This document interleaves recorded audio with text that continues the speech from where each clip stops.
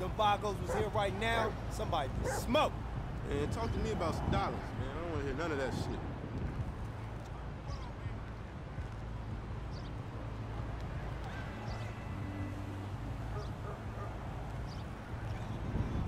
This kush got me gone right now. I mean, what can you say?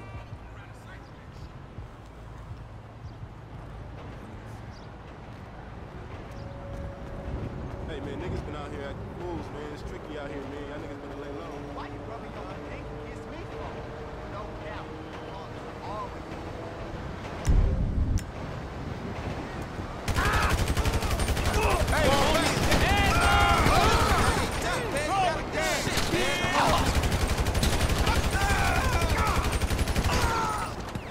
Ignorant ass motherfucker.